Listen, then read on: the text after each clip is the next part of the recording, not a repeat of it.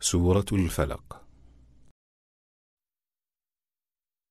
أعوذ بالله من الشيطان الرجيم I seek refuge in Allah from the expelled Satan. بسم الله الرحمن الرحيم In the name of Allah, the entirely merciful, the especially merciful.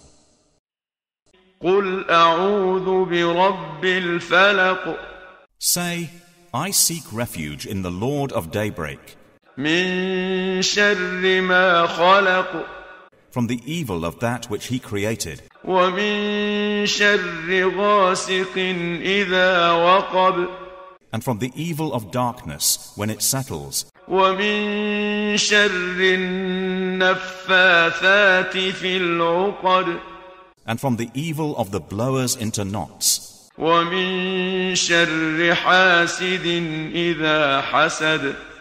And from the evil of an envier when he envies.